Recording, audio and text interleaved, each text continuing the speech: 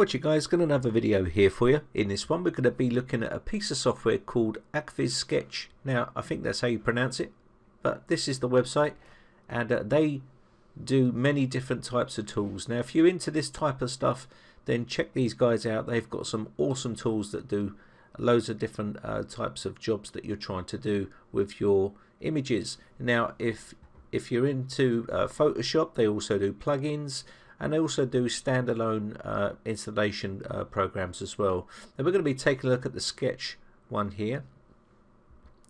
Now I'm no expert with this uh, software, I've only just started to have a little look at it, but basically it can change all your images into sketches.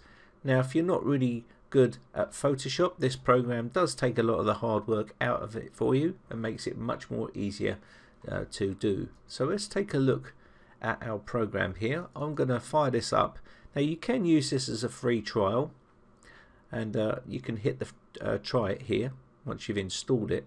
Now I'm going to be looking at the Home Deluxe version here. I'm going to try this. Now this is the actual program that you've got once you open it. All you need to do is put in your project that you want to be uh, working on or your image and you can hit this button here, open an image and we're going to be taking a look at this uh, girl here. And you can see when you start moving this box around it gives you an idea of what the image is going to look like once you get it to sketch.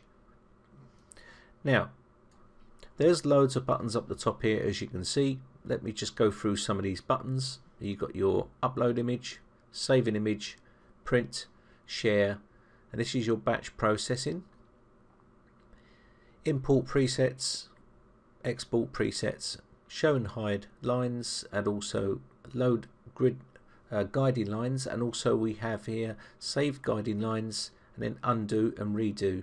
And down the left hand panel here we have quick preview uh, stroke detection eraser hand and zoom now we also have up the top right hand corner here express advanced and we have the run button which is going to create our image. There's some information about the program and a help button here and we have some preferences that you can change as well. Now this is where all the magic happens. This is where you can make changes to uh, your image. Now you can see here we have watercolor and this will add in watercolor as well and also charcoal and you can see it that will start to change the amount that you do here. You can see the numbers changing as I drag the sliders. You can type the number in yourself if you wish. Coloration, again self-explanatory. This will add a slight bit of colour uh, to the image like so and you can drag this around to check it in different locations to make sure you're getting exactly how you want it so let me just take that off a second and, and got also in here. Now here is your strokes, original colours. You can see here, you can mess around with the uh, settings here and pull this about. You've got edges and this is going to do your edges, the sensitivity. You can see here we can do this here. And edge width. As you can see. Now I'm not going to be trying to master this uh, program in one sitting here but I'm just showing you exactly what you can do and you can preserve the edges here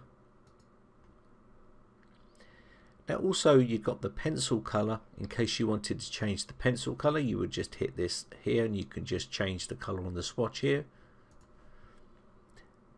And you also have the stroke fitness here. Maximum length midtone sensitivity. As you can see here this will change the midtones. And you also have the midtones hatching. And you can change this as well as you can see here. I'm just going to put that back to where it was. Now also on this drop down menu here we have a load of other presets that you can change. So you can do rough sketch, clear lines. As you can see here, we'll just quickly change some of these and you can see it changes it into pastel. uh, as you can see you can make some changes here. You can examine it to what you want to do here want to put it back you can put it back. But there's loads of here loads here to choose from. Dark pencil. Loads and loads to choose. And you what you would do is you'd select what you want to achieve here say dark pencil or pastel or whatever it is you want to do. Crown. And then you would mess around with the settings here uh, to get it exactly how you want it. So let's go back here to this uh, this one here default now you've also got your background and this allows you to change your background and uh, sketch and photo, uh, sketch and blur and so on for the background. So if you did this, you can do grayscale. Let me just do the sketch and blur. This will open up this area here. And again, you've got some other drop downs here that you can play with. And you've got your radius for your Gaussian blur. Pretty feature packed this program but as you can see here you can add in text and also the canvas. This is going to allow you to change the the light area here like so by just moving this cross around. And you can put it down the bottom here to on the darker side or the lighter side depending on what, what uh, effect you're looking for as you can see here it's the, the direction of light. Looks pretty awesome. And you got the brightness here and the embossing uh, which will change. As you can see here. So that's pretty much uh, the program features. And again once you've set this up exactly how you want you can do the before and the after. And this will then build your image now once it's built your image you could then go through and take a look at what it's achieved. Again, by clicking on these, it gives you some other examples, lighter versions and darker versions. And if you're not happy, you can go back to the before and it will make changes.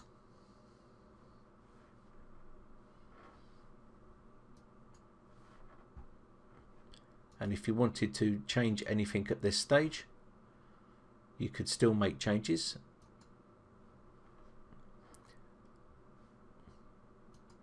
Hit the run and it will change it back and start doing a pastel as you can see here. And give you some ideas down the bottom some lighter versions and darker versions and different versions here. You can select which one you like. And once you've selected the one you like if you want to save it you can then come up to the top here where it says save save image as click on this and we can save this to our desktop, our pictures. So let's just send that, save that to our. Don't want to replace that, so let me just do uh, a two here and save. And as you can see, if we go back to our pictures here now, we have two types here. As you can see, we have our watercolor or pastel. Just like so.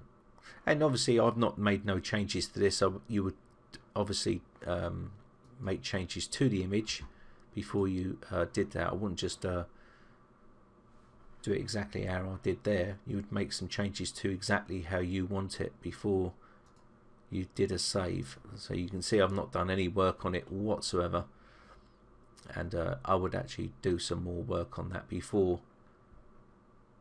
So you could do like coloration. You could do a little bit of color if you wanted to just something like that.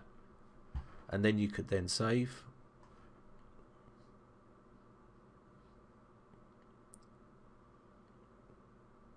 And again you can just make this number three. And you can just do what you want to do to get it how you want it.